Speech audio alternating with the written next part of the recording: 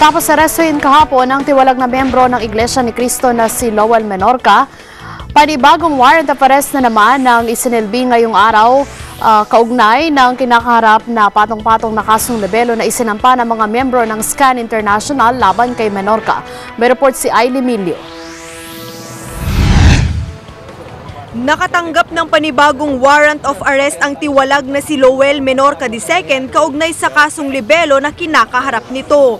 Ito nang ikalawang warrant of arrest na isinilbi ng mga tauhan ng Manila Police District o MPD sa detention facility na kinaroroonan ni Menorca. Ang ikalawang warrant of arrest ay inisyu ni Presiding Judge Wenida Papandayan ng Lanao del Sur Regional Trial Court Branch 10. 10,000 pisong piyansa ang itinakda ng korte kay Menorca.